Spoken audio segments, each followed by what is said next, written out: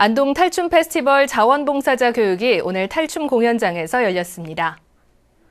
이번 교육은 올해 축제 방향에 대한 설명과 함께 축제를 즐기면서 친절하게 자원봉사할 수 있는 정신교육과 안전사고 예방 순으로 진행됐습니다.